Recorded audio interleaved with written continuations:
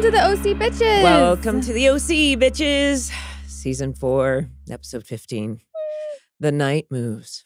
It's been a theme since season one. The night moves. It, yeah. Yeah. Well, it has. Little Bob Seger, little are Luke. Here Julie. at the penultimate, you guys. So we our guest today, ladies and gentlemen, is Stephanie Savage. I think you all know her pretty well. Hi, guys. Steph is back. Yes. So happy you're here.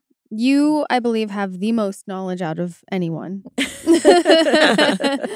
the show. So we're always thrilled when Well, it, it's it's twenty years is a long time now. There's definitely stuff that I do not Right. remember or is cloudy, but I'll do my best. We could start with that question we just had when we spoke with Autumn last week or a few hours ago, or a few minutes ago, where she was like, How does it work when you decide to turn someone into a series regular? Did it, eh, do you remember if it happened in season three or not? I can't remember when we called Autumn. We might have, or her agents, we might have waited until after season three wrapped just because of the story we were telling. Mhm. But we definitely had in our minds that that we knew that that season four was going to be a different kind of a season and that we really wanted a lot of Taylor Townsend and that like fun, fresh, you know, breath of fresh air energy for season four. We were going to need her to like lift us all up. So we definitely had that idea in our heads as we were arcing out the end of season three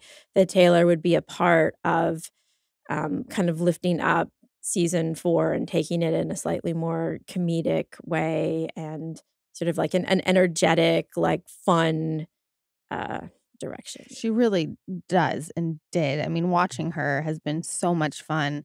And like you said, season four was like a totally different thing. I keep saying, I'm like, what what show am I watching? Like we have Brody like and Pratt like doing ayahuasca basically. we Yeah. keep talking about it. Like, what is happening? You guys stuck the landing with what you described you wanted in Mhm. season four, for, For sure. sure. The feeling that you guys, it seemed to be having so much fun in the writer's room was palpable. You could see it. Yeah, it was definitely, you know, we had tried a bunch of different things. We, you know, had different uh network heads. We're getting strong direction from them to do certain things. And by the time we got to season 4, it was like, guys, just write what you want to write. Write what brings you joy, what you think this show should be. Everyone in this room is hilarious. Like, why are we not using that superpower?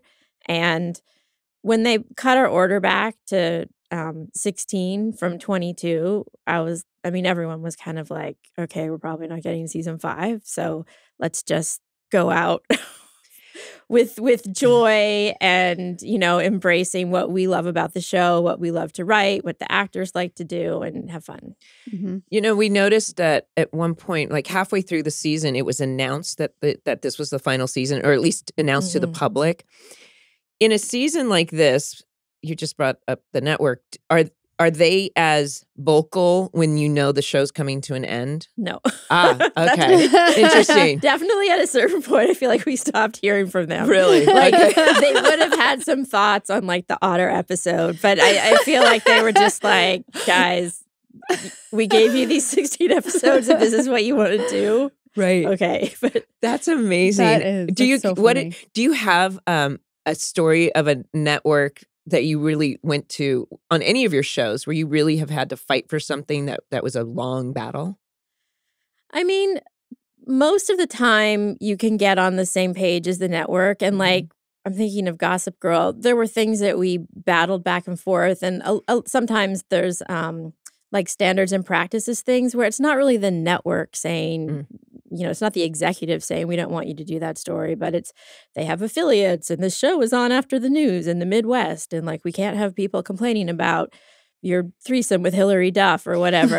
um, but but usually the execs are aligned with you. I think this show was unique because Gail Berman was such a strong supporter of the show from the beginning. Mhm. And when she left, there were some pretty significant changes at the network, not just our show, but just how they were seeing the network Mhm. and and who the audience was and what kind of programming they wanted to have that we got a little bit squeezed by that. And Yeah. it was hard for us to try and be a different kind of show or, you know, Grey's Anatomy was coming along and like doing great, but like we don't have a medical franchise except for Dr. Roberts. We- Dr. Roberts Yeah. we actually Seattle went Grace. to Seattle Grace, exactly. and um, you know, Desperate Housewives was doing great, but like we don't have a murder on our show. So it was just, you know, trying to be true to ourselves, but also trying to achieve the level of success and and and the goals that the network was setting for us and moving us to Yeah. a more difficult time period on a different night and They moved us like lot. three or four times, and by the end, I didn't. Uh, for some reason, I was picturing we were after Idol, then we were against Friends, and then we were against CSI, and then they did it. Then they moved us to a Friday at the end or something like that. I don't even remember. It was, that, but it was quite a bit. And when you do that a lot, it's hard for the audience to, follow. Follow exactly. Yeah, yeah. Which a- is crazy. I mean, now you, if you were talking to someone about like they moved our time period, You're they're like, just like, "What?" huh? What? yeah, what do you mean? It's just just stream it. It's always Yeah. on. Well, I mean, it, I bringing this up. I mean, I'm jumping far ahead, but I think the the line that Seth has when he says we we if we'd made this a buddy swap. Oh my yeah, god, the yeah. body swap comedy. swap yeah. I totally heard you there. That was- Stuff like just oh my god, Gotten just two two more years out of this. yeah, that was definitely. I mean, the in the history of the show, we had a mm. lot of meta lines, Yeah. but that was just like kind of leaving this earth. Like it barely even applied to the I- actual characters of the show. It was really only about Yeah, the the show in real life. yeah, yeah. It was amazing. that was not an improv. That was so you guys yeah, like yeah. yes to a T. So now coming to see us today, did you have? Did you watch the episode and how are your feelings about I, it? I watched uh, this episode and uh, the last episode um, uh, the other night and bawled my eyes out. Oh my god! I did Wait, the finale. You watched this and the Finale, yeah. Finale, I cried. Yeah. I I have to tell you guys, like, so I watched this one and the one prior that we did with Autumn together. I was just sobbing. Like I, it wasn't even a sad part of the show, Yeah. and I would just start sobbing. And it's like, oh my god, I'm saying goodbye to this again. yeah. And it brought, it's like put me in a really weird headspace, Aw. like feeling depressed and stuff. But it's so crazy because you revisit it, Mhm. and so I, and I don't remember what happens in the finale, so. Uh, No spoilers. have that to look forward to or not. But Well, yeah. My, I suspect it will crush you because it's just, it's really, it just hits all the buttons. Yeah. Oh man. No, I'm actually feeling a little. Emotional now. Yeah, I think so. It's been. I mean, I think so. Like this. Let's, this episode we as we as we end the last episode the earthquake happens and everyone's with their respective significant other the most Mhm. important person in their life which sets us up for now we are in a disaster episode have you ever used i mean just as a as a showrunner using a disaster is a way to set up our favorite characters having to survive something and keep them back and put them in um, magnify their relationships is that am i saying it correctly Yeah, absolutely. So, in in thinking of the end of the season, which we knew would be the end of the series, and knowing that the final episode was going to have a lot of heavy lifting to do in terms of just the big, big storytelling of the of the show, we wanted to do this two parter episode. Um, and John Stephens wrote to shake up the episode prior.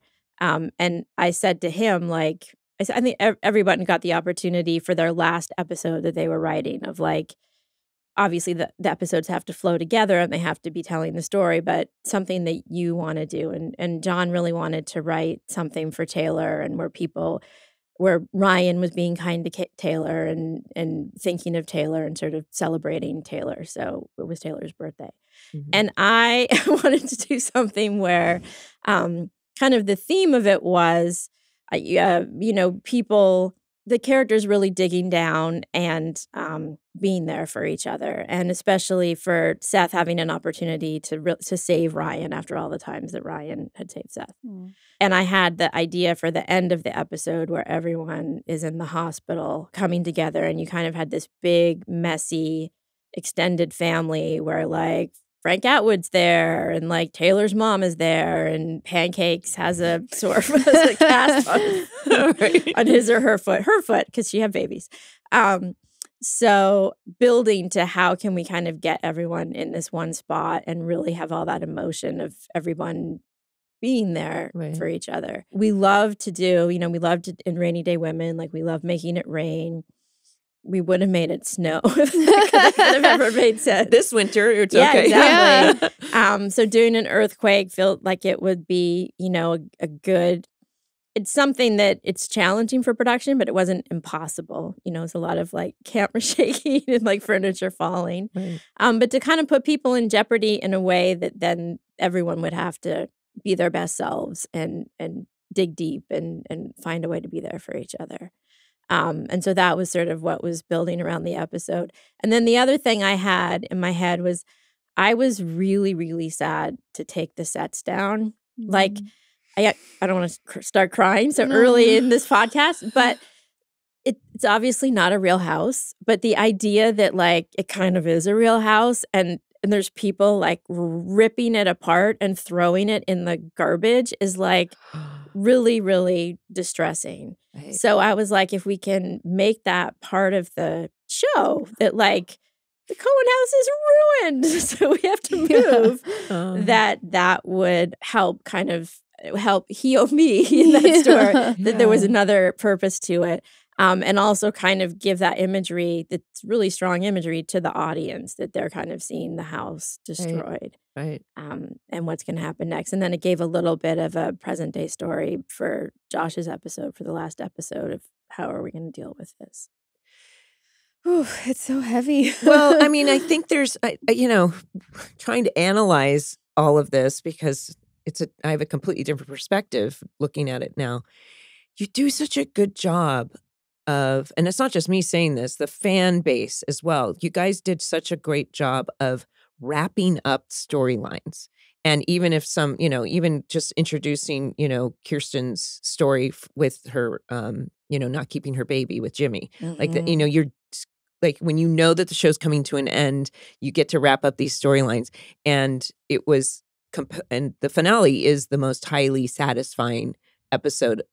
Fans have said this, not not Mhm. just me, but um, but yeah, there's so much. Uh, the fact that you brought in Taylor's Veronica came back, and that Mhm. what was every what is each person missing, and what does each person need, right. and and let's put them in this um i guess a disaster trope i guess as you would say and put them in this and and also i think the the imagery of ryan and seth together was really powerful like that was my favorite part of it i think My favorite part, and I ha- wanted to ask you mm.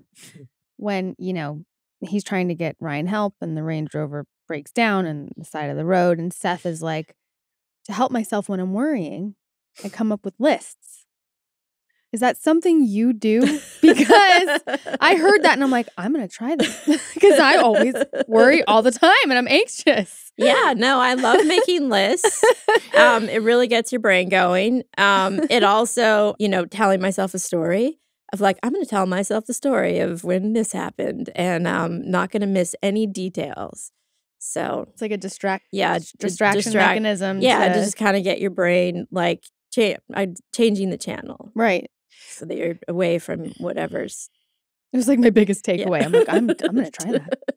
well it's a, it was such it's, it's such an interesting episode because we're not necessarily moving storyline along Right. it's these characters just dealing with the here and now yeah. and and it just was so satisfying to hear the characters talk about you know okay at first it was luke and then it was Right. you know holly's dad and Yeah. and it turned into like I, I wrote it down as many as i could luke trey oliver holly's dad volchok dean hess All the people dad. he punched. yeah Mhm. there was a bar fight there was the baseball field fight and it's not it didn't seem like that much but now i'm like but then there was repetitive ones Yeah. i think right Yeah. but it just um, An episode of cage fighting. Yeah. right. Yeah. Throw the cage fighting in there. Chloe the magical waitress or Donnie the bar bar. It's like, oh, gotta go with Chloe. But I think it's fun to hear the um to hear the character reminisce about like, didn't we have a great journey? Right. Like yeah. indicating to the audience, like this is what we're doing. Mhm. Yeah, there's it's just super satisfying. Did you feel the same way as Josh has been vocal about um about season three? about He does not care for it much. Josh definitely has a more negative uh, overall feeling about season three, I feel like my attitude is like I can still find lots to like about season 3 Mhm. and I'll watch certain episodes or like someone will remind me of something, and I'll be like, "That was season three, guys. Yeah. Um, that was still good." and I and um, again, we were struggling with a lot of like, how do we grow the audience for the show? How do we become like a bigger tent with these more um, you know, we're getting a lot of pressure for like adult storylines and intrigue and and things that were not necessarily like the bread and butter of the show and to not do some things that we felt like were. Um so I don't know that we could have really won other than just like get canceled sooner, you know. That was Mhm. sort of like we could go down fighting or we could like try and thread the needle and you know that's what we tried to do. Um and I think that there are there are some really good things in season three, and I think that even though, and you know, we've talked about this, that I greatly regret uh, killing Marissa the way that we did. Um, that that is a great, that's a really good episode, and that's a beautiful, you know, well done story. Mhm. And you know, Mischa is amazing, Ben is amazing. Like it's, it's shot really well, Yeah. and and it did end the season in a way where we got to start season four in a different place. Right. It serviced the rest of the characters very well. Like they, everyone had a lot to play. If you, do you, did you have an alternative? Like, like, c- could she have not died, or is it? That would definitely have been a different, you know, an option that we could have done. Right. I think we felt um we didn't kill Trey. that how many how many seasons can you end with someone almost dying when they don't die? Oh, interesting. Right. Oh, I thought you were saying I wish we'd gone back and killed Trey. Well, Well, I'm, I'm, not not saying that. Oh, I think Right. if we had Yeah. killed Trey, we would have we would have felt like we could have not killed, Killed Marissa. Marissa. Yeah. You you brought up Desperate Housewives, and I think that's interesting because Marc Cherry, the creator of Desperate Housewives, has credited the OC Oh, yeah. with the success. He said if OC hadn't been on, I would not have been able to do what I did on ABC. And and then in in return, I remember that Gail Berman was like, "We need more Desperate Housewife type stuff." Were you getting that? Is Yeah. that true? Okay. Yeah. Yeah. And and Mark has said that. He said that to our faces. I Yeah. mean, he's just very, very complimentary about the show and kind of the the door that it opened in um, you know, mainstream broadcast television to do something uh, a nighttime soap for whatever, you know, however else you want to describe the show that had so much humor and so much voice. Right. Yeah. A lot of humor. Right. I ke- and I keep saying, you know, as we're watching and going through the fourth season, like watching Adam in particular, I'm laughing, and not that he's being funny, which he is, but like I've never seen someone more over it. and I'm like, it's actually entertaining because you're just like, what's he gonna do next? You know? It's you been know, a lot they of have fun. this. Okay, so we have this huge earthquake that that now, and I, I kept thinking like that's the that really is the big one. That's like the longest God. earthquake. Yeah. That's so, So scary. Yeah. Do you remember your first earthquake after moving here? Mhm. It's pretty traumatic. Yeah. No, and even just like a tiny like bump when you're in bed. No, yeah. Yeah. No, it's instant. It was after that big one, which we had talked about before. That now my reaction is like, but yeah, watching it, it's really scary. I mean, everything was really shaking. Like, how- yeah. you know, they did such a good job, like you Patrick said. Patrick Norris directed the episode, and he's always one of my favorite Mhm. directors to work with. And at this point, he had done quite a few uh, Friday Night Lights, which Mm-hmm. I think that show has a real uh, had a real style to it. Mhm. And he brought some of that to this episode. He Um, told us that. We, he was just here Yeah. and he was he wanted to talk about this episode, not the other one. But I said, Stephanie's coming. but he said I wanted to bring that energy. And so that actually that's what I wanted to, one of the special things about this episode really was the camera work and the editing were unique to the entire series. Yep. And that was um our editor, special shout out to Matt Barber, who I've not met, I don't think, but he's gone on to some some great things as well. Yeah, no, Matt was amazing, and he got um, upped to editor from an assistant editor on this show. Oh. Um, so we're very proud of of him and everything he's accomplished. But yeah, this episode it had like a little bit more of that Friday Night Lights, like loose handheld camera feeling. Um, in the editing, it had these like little dips to black that kind Right. of went in and out to kind of suggest that idea of like in and out of consciousness Mhm. or like the power coming on and going off. Um, I think to give it just a little bit more of that feeling of uh, realness and and grounded in in what was actually happening on the in the moment. It wasn't like a slick episode that was like very choreographed. It felt sort of like more a little bit more of the Liman documentary style, going back to our roots. Um, For sure. I noticed that there was actually more silence too. There was less orchestrated music.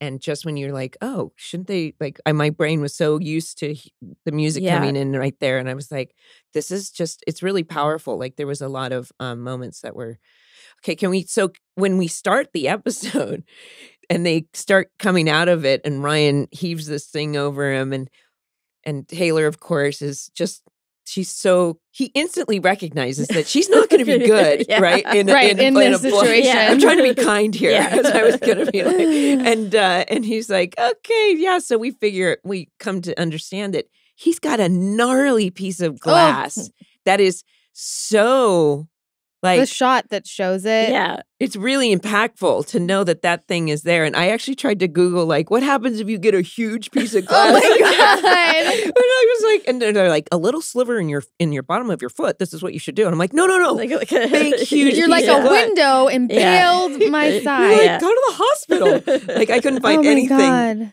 Yeah. And uh, so Oof. I kept thinking, well, they shouldn't take it out because it'll bleed out. But um, yeah, no, he knew that. Yeah. he knew that much. Right. And yeah, knew not to alarm anyone. You know, and I remember and then you see, you know, obviously Seth and Summer were on their way to Blockbuster or, or the movies. We don't know. that was scary. That they was got- scary. And then like the lamppost falls Mhm. on Ryan. How many cars of Ryan's get get destroyed. destroyed? Here's another one. And I remember filming the bicycle Uh-huh. scene. It was like in it was by Loyola or so. I remember like Mhm. physically being there, being on the handlebars. And I'm surprised Brody didn't try to like throw me off it. but I do remember shooting that at night and them trying I mean, there's so many fun like it's obviously a very serious episode, but there's so many fun interactions. And then, you know, when they get to the house and the interactions with uh Summer and Taylor looking for pancakes. That's your be like, comedy there. "Pancakes!" Yeah. Oh man, Which- do you do you research what would happen and if the big one hit, or do you just in a show like this do you say I'm just gonna do my own? we definitely looked up like what are some things that would go into place and even like you know sandy and kirsten being at the um Mall, the yeah. mall at the paseo and that was about just like sandy being someone who in in a time of crisis like could marshal a hundred people who were course.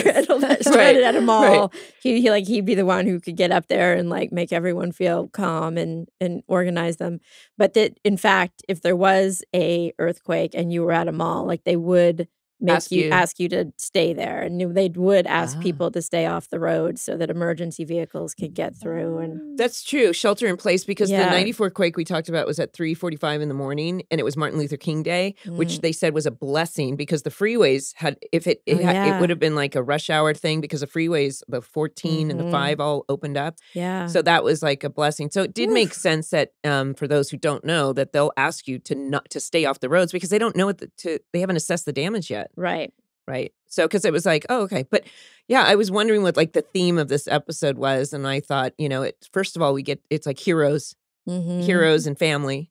And getting to see our characters in their best, at their best, um, Sandy being a hero or Seth being a hero. Mhm. Julie gets to take care of her daughter. yep You know, these parents get put in places. she in also in a- gets to sing bob seger that was not an easy song to sing. I was like kind of mortified. I got to tell you, I learned it because I trained to sing, but I have this weird little part to like try singing. Yeah. Yeah. I mean, it's hard. I just like that that's what she like soothed Yeah. uh, Caitlin Caitlin with as a kid. Explains a lot about caitlin It explains a lot. Yeah, with night moves. Where did Gary, the idea for Gary the ice cream boy come from?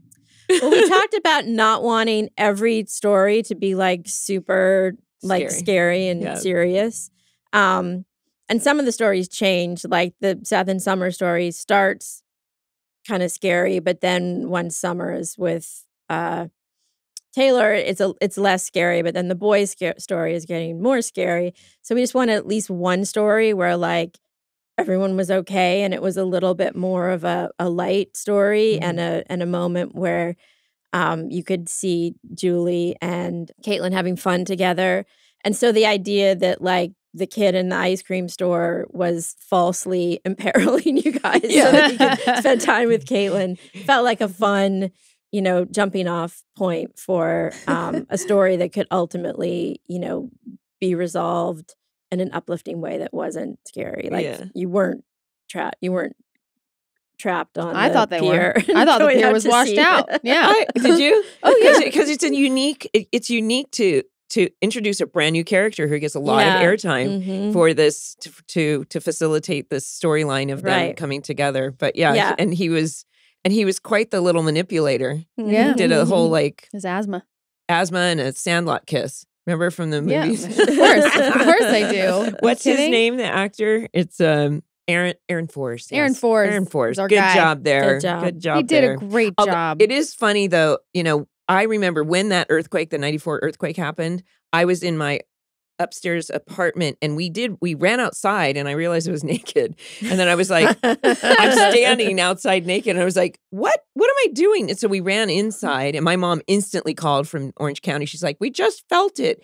And then the aftershocks shocks were happening for a month afterwards. So Mhm. aftershocks shocks.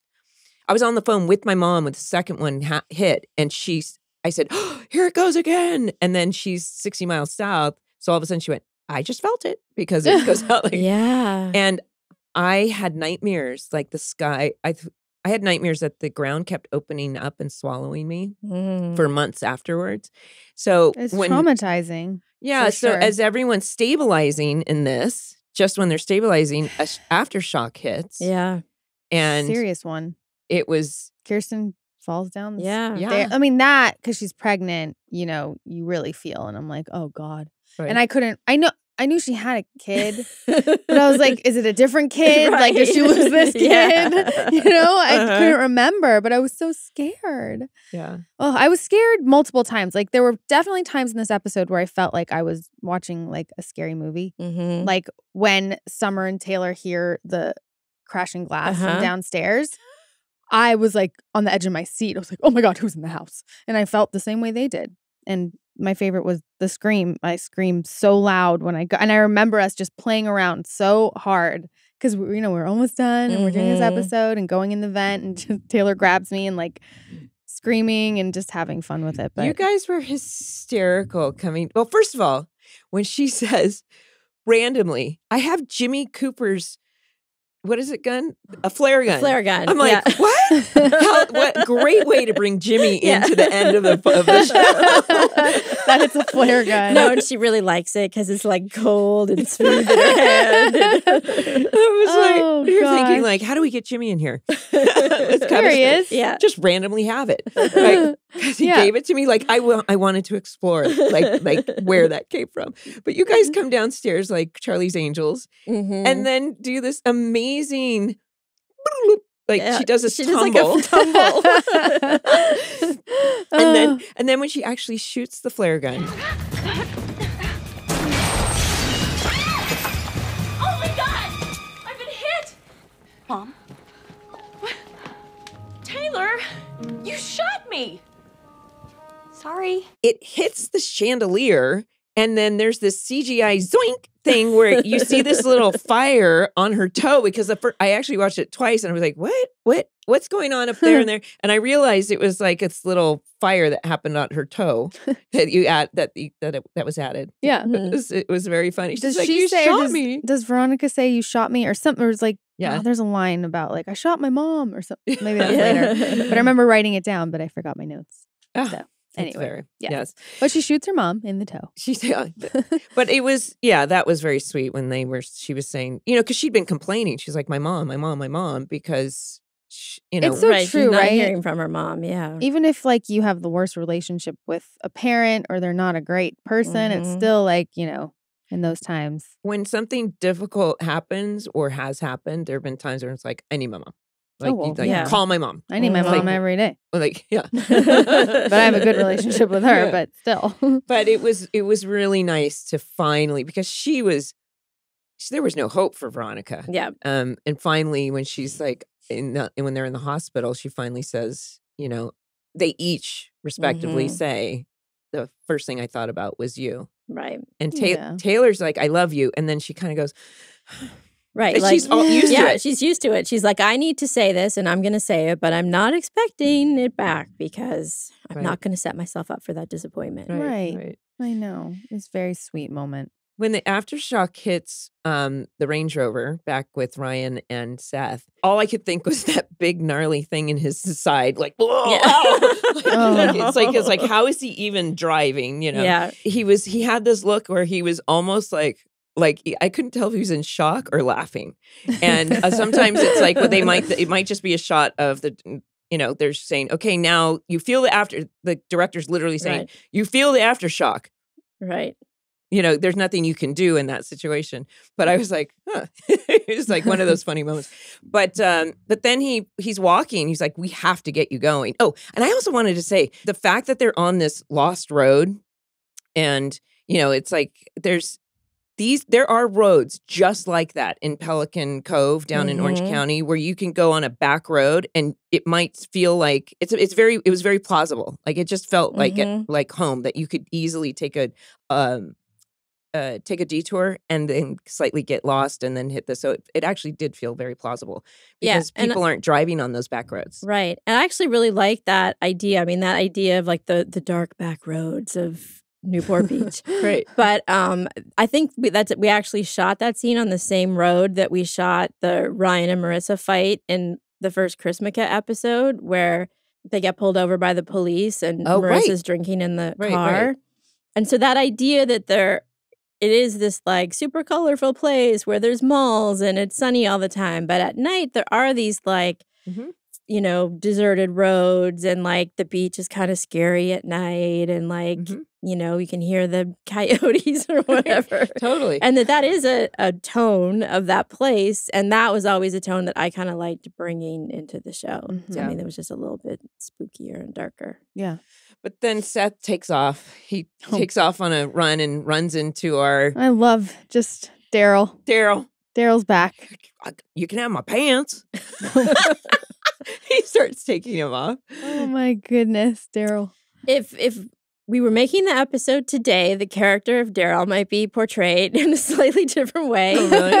with a little more sensitivity to daryl's living situation Right. Um, but uh, it worked. It worked out well, exactly Right. for um, Jeff Krinsky, who went on to be a series regular on Chuck for five Right. years. I mean, He Yeah. did quite well. He ends Yeah. up with the. I love that he ends up with the with the Range Rover, and he's like, "It doesn't roll, but you know, it's my home now." oh my god, I know. Doesn't the episode end on him Yeah, getting in it's the like- Range Is that how it Rover? ends? that's another thing I might change watching it. So in the in the planning of the episode, I wanted to make sure that once everyone was okay after the hospital scene, where you sort of get hopefully that big emotion of everyone coming together and everyone stepped up and you know done right by each other, that then there was some um, humor at the end of the episode to sort of lift things up. Yeah. So it was written that when um, the Cohens come into their house and like everything's ruined, then there's like a seagull sitting there and like it caws. and then it was like maybe seagulls are like not trainable birds or something. So somehow it was like, well, we found you a pelican. That's better, even But right? maybe it's better, but the pelican is so big, and then like Like- it doesn't really make a noise, so it's just kind of like eye contact with the pelican. But that moment didn't totally work, and I Oh, think really? I wanted to like digitally remove the pelican, and they were just like, Oh. "No, it's too expensive. so you have to funny. live with we your were stuck with the pelican." pelican. Yeah, That's a, actually a pretty cool image. and then cutting back to that to Daryl in the car, I was like, you know, we could have just kept going and not I had that moment. I actually loved it because it was so random. Yeah, it's really crazy. you You're know? like, why is yeah? There's like whatever, ninety seconds, sixty seconds left in this episode, and, I was and this is who we're spending it with. Yeah, yeah, no. I actually loved that so much. And you know, What I what do you remember like what month we were like kind of ending the show when we were shooting by any chance? Was it January or February? January. Was it? I think so. Well, Last week of January was the last week of the show, I believe. so my favorite game I've been playing is like where Adam and I broken up in this episode in real life. So watching this one, we're all in the hospital, right? At the end, Mhm. and everyone's walking out, and everyone's like, "Oh, thank God!" And da- Adam and I are not touching. we're both walking out of the hospital. Everybody literally is like holding on to each other, and I noticed it, and I was like, "Oh, we're definitely." this is where I You're noticed. like, you've got your rabbit and I got listen. Pancakes was all Yeah, I was concerned about. First of all- Definitely not concerned about the boyfriend. that I that whole scene first that was really I think that's where I started tearing up because there was and now I'm so glad you said that because it was a very unique way to edit it because you get we as everyone comes out you know usually we get to see you know Kirsten or you know Sandy sees, says hello to Julie and then you instantly reverse and repeat it you kept Mhm. reversing Yeah. and repeating these characters coming together like just to Mhm. to layer it on i Yeah, guess with this great song and Kreuzberg block party and uh, and all of a sudden you see just these cute little snippets like all of a sudden Kaitlin has Yeah, the she's hair- cutting Frank's hair she's with, cutting with Julie's nail scissors. she's cutting frank's hair yeah. Yeah. which which is so funny because i have a feeling that was patrick norris because when he was here he kept saying he wanted to to cut kevin sorbo's hair right? I was like, that's a funny little thing, you know, like where did that come in? Because we just done it to this other guy, so she wants to do it to this guy. But um, but I didn't notice that you you guys, because everyone's touching and well. I wasn't even looking for it. I was just watching and I was like, that's so weird. they literally just went through something so traumatic. Everyone's okay. And like we're both like like just walking Oh totally separate. well, Yeah, well if you look Well- at it again, I mean, whatever. I mean, yeah, I mean, yeah. It's my fun game. But the way they got there, obviously, I thought it was funny in when they got rescued from the ice cream parlor by Hercules. I have to make mm-hmm. that because it didn't sound like kaboom, Yeah. kaboom, oh, I'm here. I was like, I'm watching it and I'm like, how did did he swim there? you believed it. yes. Well, and I thought about it. And I was like, okay, so I, I was like, well, so okay, this ice cream parlor, because I think of it in real Mhm. terms, would have to have been on the end of the pier for it to be washed Right. out for them to be an island, which they're, I guess Redondo Pier does have that. Some piers do have little restaurants at the end because I kept picturing it anyway. So yes, it, it's possible. It's possible. Yeah. it- but it didn't happen. Well, I believed it. But then one of the other things that was going on, and then when they leave, they actually see Seth. They're like, is that Seth? Yeah, After- running with his shopping cart. With the Right. shopping cart. so we never had to put actually put Ryan. Yeah. in I the was I was- actually looking forward to that. Yeah, I was really hoping for that image. You know, like taking it a step further, showing him with Ryan in the car. That Yeah. could have happened, but, but anyway. Like, yeah. But I'm surprised Seth didn't go, hello. Oh, look at the first car I've seen. But I uh, he's Yeah, like, he's I, like, nope, I got my car. Yeah, I just traded my family's Range Rover for this, so I'm gonna use it. right. Yeah, exactly. One more thing I wanted to mention was in the hospital, Sandy walks in with Kirsten after, you know, he's like, she's like, something's wrong. And he's like, sorry, you know, unless it's really an emergency, there's other people in front of you. And that's where we see Craig and, and Sandy just advocates for her. And she's like, she, please, you got to help this baby. And I thought, they've gone through a lot to, I mean, what was revealed to us is that they tried for more kids and she Mhm. thought it was karma and um and that this is like a miracle baby. You guys Yeah. didn't put a lot of emphasis on that, Mm-hmm. but I got that message. Yeah, and this is I don't want to cry. This goes back to like uh the gamble and this idea and it's very subtle, well even before the gamble just the whole Kirsten character that they only had one child that when we first meet Seth he's he's kind of struggling and Kirsten doesn't really know what to do, which is partly why she's so like stressed out about Ryan coming into the house because she feels like this could be like you know a potentially really bad situation because where they're not like operating at an optimum level with this kid um as her doubting her own um, ability to be a good mother, that she's a good businesswoman, that she, you know, runs the house in a certain way, but she's not super maternal Mm-hmm. and she doesn't feel like that's something that comes easily to her. And so feeling like by the time we get to the end of the show that she knows she's a good mom and that this this uh, new baby that's coming is kind of coming into a different version of the family than when Seth was born. Right. And she's Mm. on her path of recovery and she's learned so many things. And now there was a lot of weight to the possible lo- loss of this Yeah. young baby. And when Sandy says we really don't want an empty nest, like I can't think of anything worse. Mm. That that idea of like, yeah, they're parents. Like Yeah. they, it's this is going to be a rough transition for them having Right. both boys out of the house. yeah, his speech to the doctor when she said he's like that high energy, like just whatever you do, tell me first. I need to know. And Yeah. and you know, that that that was very, Mhm. very impactful. Or how about Craig Susser himself? Craig Susser giving up his place in place line. in line, Yeah. you know, for them. I just, I can't. we I- definitely um, wanted to have him come back in a real world situation um, and do something again it's just even strangers will stand up for other strangers you know in a time of, of Right. difficulty Mhm. um, people are fundamentally good and they can they do good things for other people yeah, especially Craig Susser. especially Yes. He's oh, Yeah. we gotta go. Gotta go. Gotta go to Craig's. so one other scene that was another highly highly satisfying scene is um ryan wakes up in the hospital and there's seth talking about he said They're- we're officially blood, blood brothers brothers. because uh he said uh, after our, after the many times of you saving me it was my turn even though Yeah. you don't like needles and you faint and yeah and what does ryan say he goes oh, all of a sudden i feel like listening to death cab and, and what was the other reading, reading comic comics. Comic books. Yeah. He's like, really? No, not really.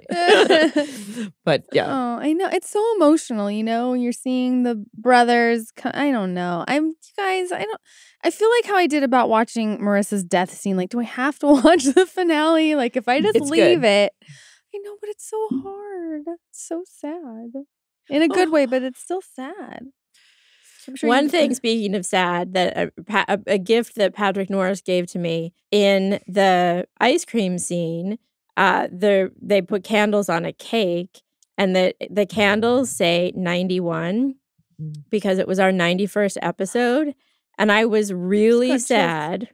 In the old days, it doesn't matter so much. It probably doesn't matter at all anymore. But getting to hundred 100. episodes was like Syndication. it meant syndication, which had some, you know, financial reward attached to it. But for me, the real thing was that just you did a good job. You produced your show to 100 episodes. When Peter Roth, you know, looked you in the eye and said, let's go do this, like you did it and you brought it home. And the fact that we, and then like you get a cake, like a sheet cake that says 100 episodes, you get party. Like in the old days, people would buy ads in the trade saying congratulations.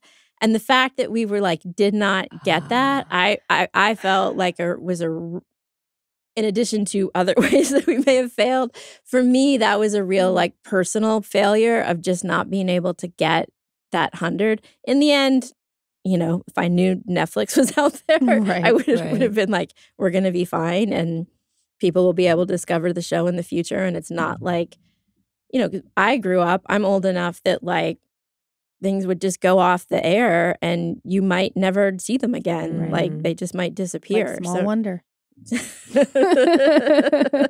Wow.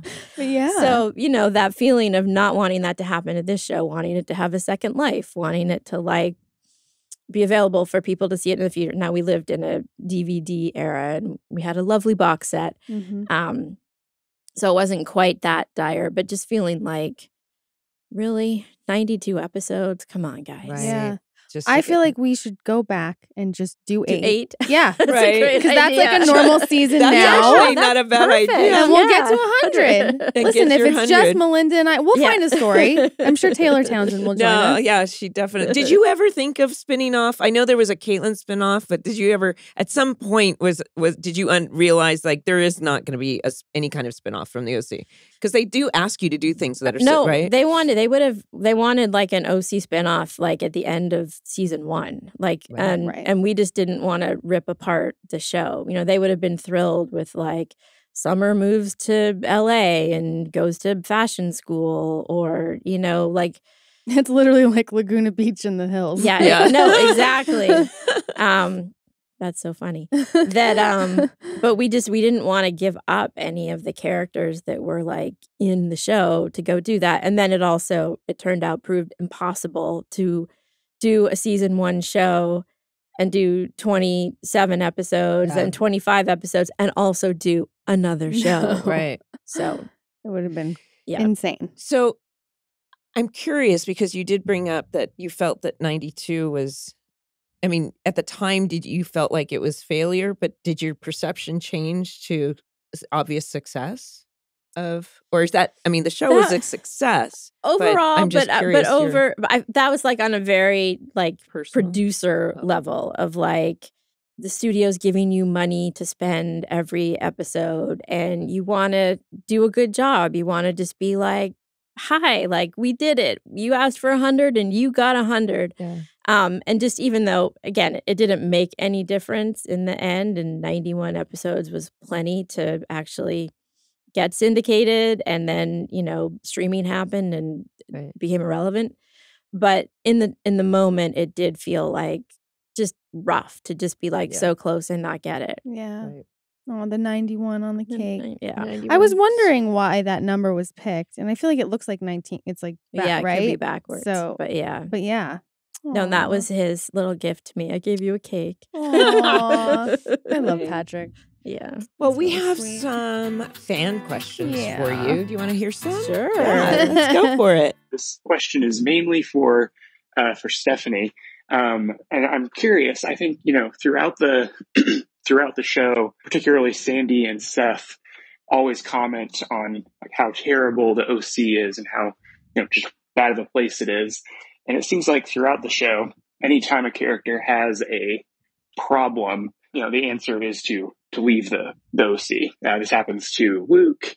Uh, happens to Jimmy several times and then in the Marissa, she dies doing it. But and then in the last uh, you know episodes, um, it takes a an actual like catastrophe, act of God, destructive event to force the the Cohens to to move on. And I'm just curious, like, was this the idea of like the OC being terrible and having to leave the you know and that being the answer to people's problems was that an intentional choice or did it just kind of work out that way um, and then like if i can ask a second question i like every the the holiday themed episodes i think those are always some of the most fun some of the best was there ever any talk about doing a halloween themed episode just curious um, thank you so much for doing the pod and uh, stephanie obviously creating the show and your contributions are on this pod and your insights are really great so um, thank you everybody Thank you. Thank you. That's so nice.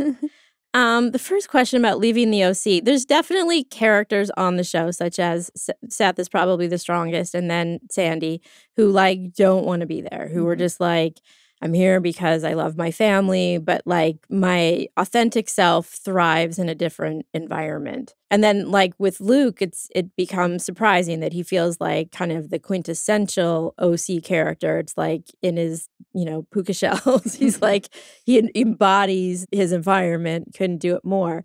But then also realizing that he can't really stay there either because in order for him to be happy, he needs to be with his gay dad in a in Portland in a city that will, you know, embrace him more and he's going to grow as a human Yeah. in a different environment. So with the end and the idea of Berkeley, I think we really liked the idea of um Seth am I am I giving Rachel It's okay. spoilers? No, it's fine.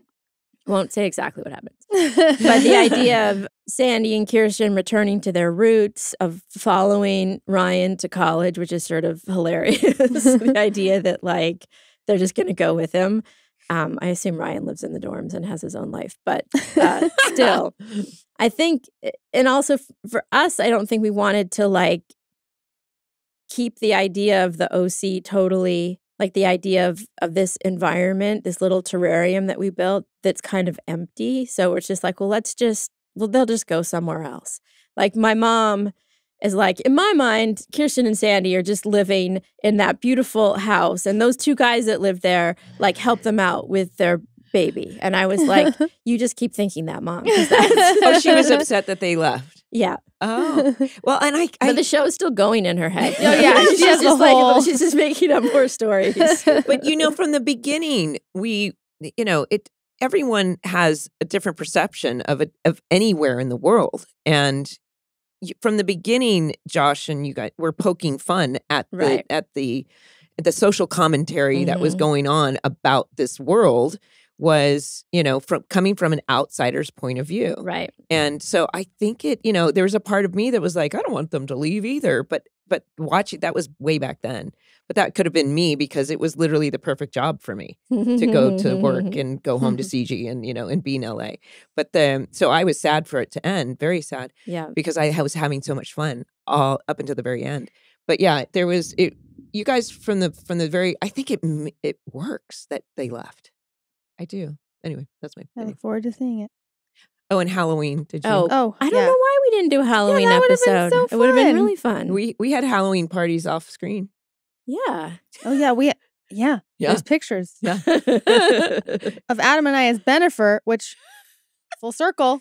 They are married now. Who knew? Who Just knew? saying. Okay, another question. Another question. Rumor has it Stephanie has a personal connection and story behind the skeleton that Summer and Taylor find in the attic. I'd love to hear it.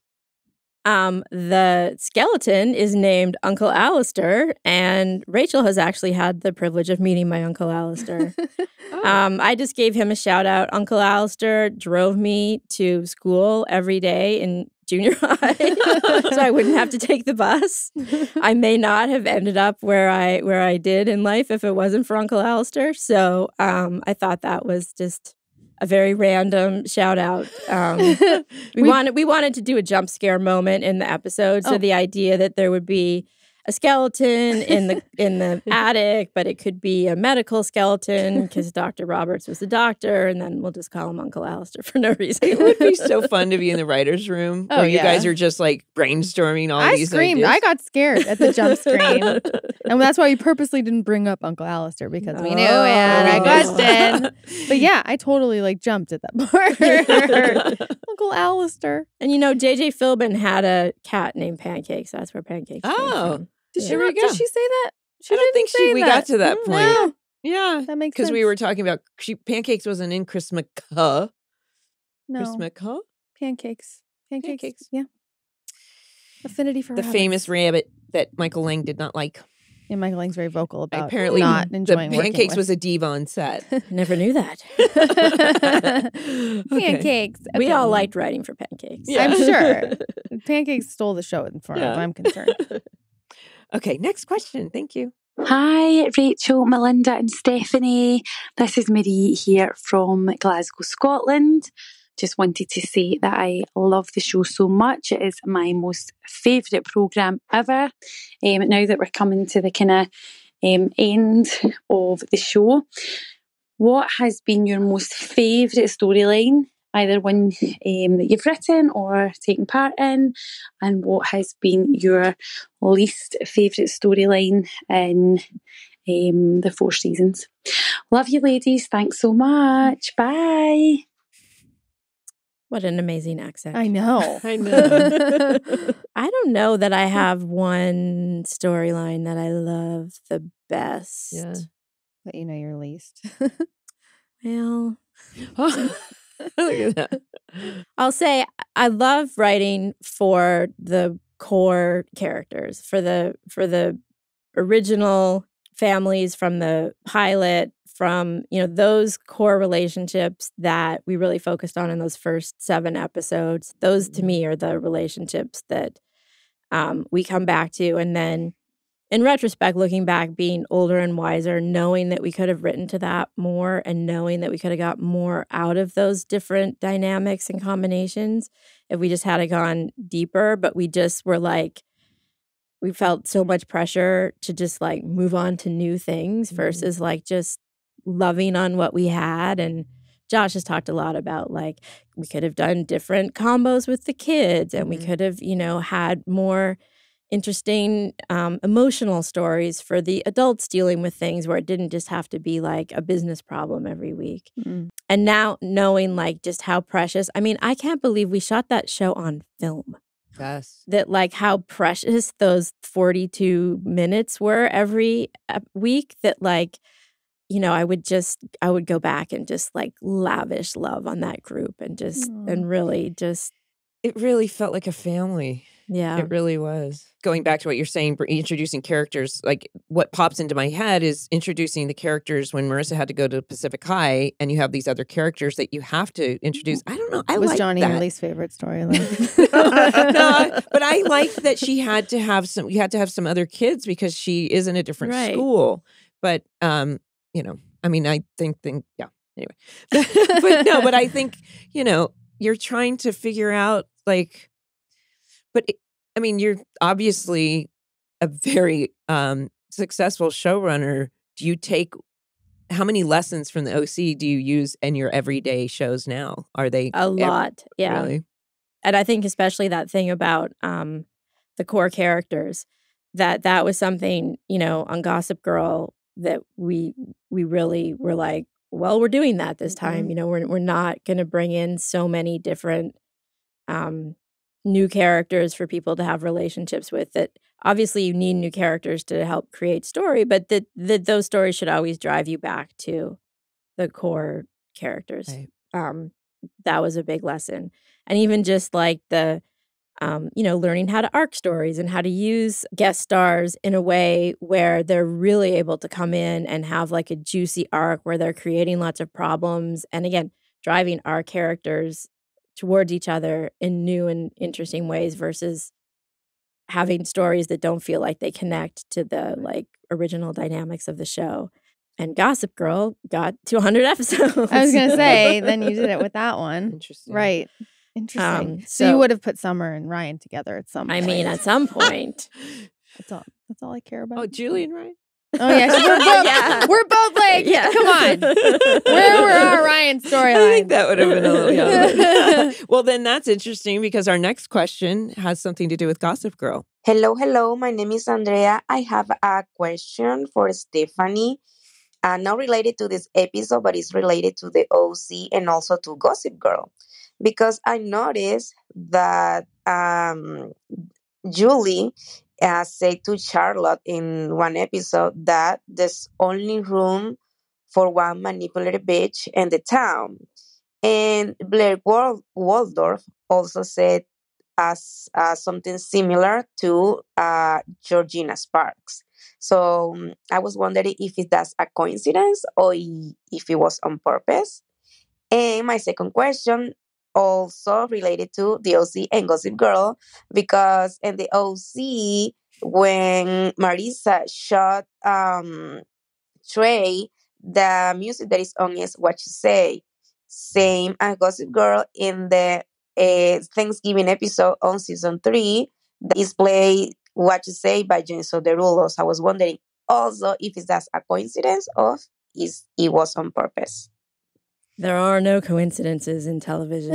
um, no, the the repeat of the of the uh, the Julie and the uh, Blair line was definitely I I you know I don't know if it's like if it's considered a callback if it's a different show. Somebody might say that's just lazy writing, but they're both moments where the that are very similar of Mhm. like the the crazy bitch in in one show is not going to let like someone else take their Right, right, territory right. from them. So that felt like fun. And then with the Jason Derulo song, we almost didn't do it because we're like, are we making an homage to ourselves that like something that only happened like a few years ago Mhm. and wasn't quite historical at the time, but it just felt like it was too good. And we when we put it up to um picture, we were like, okay, we have to do this. And then that's actually became a really funny meme that like families at Christmas will or, or like Thanksgiving will like act out the Gossip Girl scene of everyone really? leaving the table to the uh, Jason Derulo samples, uh, Imogen Heap's hide and seek. So it's it's pretty funny how that that how that worked out. Yeah, you created quite a bit of culture. I mean, the SNL skit and everything. Yeah. Um, one thing that I'll just we can end on this note, but uh, we did a Gossip Girl. It could have. It was a backdoor pilot. They could have been a spinoff. They didn't end up going, but it was set in the '80s in Los Angeles, and we were like, this could be an opportunity to cross over because there's no reason that Kirsten and Julie might not end up in also in Los Angeles, Right. Um, in the In the 80s. 80s. And, That would- uh, yeah. that would have been really fun. The young, the prequel. yes, Yeah. exactly. Oh, Because you did that with the Carrie Diaries, Yeah. right? Yeah. I'd watch that. Yeah. Well, there is actually one last question Nope. for you. So I don't really have a question. I have more of a request. But I was wondering if you guys could check out season 17, episode 3 of The Simpsons. They basically do a whole parody of the OC. It's really funny. They even use your theme song. and they may have like these characters um kind of living out things from the show. And I think it's really cool and you guys would like it. Hi, Bart. I baked you some cookies. Skanks for nothing, Lamarella. If you two don't mind, I'd like to watch that cool Fox show about teenagers in Orange County. I bet that bra was planted by Sterling to break them up. That's a brilliant idea. Those TV writers are geniuses. Whatever they're paid, it's not enough. I've never seen that. I've never seen that. I've seen Did a you know it existed? No, Yeah. I'm. I am totally gonna check that out. Yeah. I'm surprised Josh wouldn't know. I Like, that know. seems season weird, right? 17 episode 3 Okay. i've seen a clip and i i like a little somebody posted a little clip and i reposted it at That's some point. crazy. yeah That's awesome. That's huge. Yeah. yeah That's there you awesome. I'm going to be Googling that myself. Wow. yeah we're gonna be like I know. we've got one more One next more. week See if you can get Josh to cry. he, have you ever seen him cry? Not really. No. oh really I, I mean, there's been certain things in his life that might, you know, create some emotions. But yeah, that's a tough one. Yeah. That's gonna He has be a lot. mission. He has a lot of um, defense mechanisms against crying. Yeah. humor I mean, yeah, Humor. exactly. It's just gonna. I'm gonna turn this into a joke. Exactly. yes But that's gonna be my mission next week. you guys are going to be battling next week Yeah. the, these two those two Yeah. together it's, it's pretty funny It is. okay well It is. stephanie savage thank you so much Thank you guys, and thank you for doing this podcast. I cannot believe you got to the end. When you started, I was like, maybe they'll do a season, but even that 27 is like a lot of episodes. I'm like, they're not, you know, they'll peter out before then. But you guys have gone strong, gone hard for the Oh whole gosh. run. I think this podcast taught me more things than even uh, it's been a a lot of life lessons as well. You learn you learn things Yeah. like things that you just like throw yourself into something you've never done, and then Yeah. it's like you just like yeah. Anyway, so there's like, a lot. to edit yourself. Plus, you get to talk with people, and we Yeah. never would have been to, able to reconnect with everyone. Totally. so, I know No, that's that's been great. really awesome. yeah. Thanks for coming. Thanks for Jack. having me. Okay. Thanks, Steph. Thanks, Bye. guys. Thank, Thank you you, so guys. much for listening. Follow, rate, and review. Welcome to the OC Bitches wherever you listen to your podcasts. If you like to watch us, check it out on YouTube. And you can now listen to bonus features as well as season one and season two of the OC Bitches by going to kastmedia.com slash cast plus. That's cast with a K, media.com slash cast plus. Bye, bitches. Welcome to the OC Bitches is brought to you by Kast Media. Executive produced by Colin Thompson, Harris Lane, produced by Katie Curtright, Edited by Parker Flores and our technical engineers, Travis Holden and Dustin Park.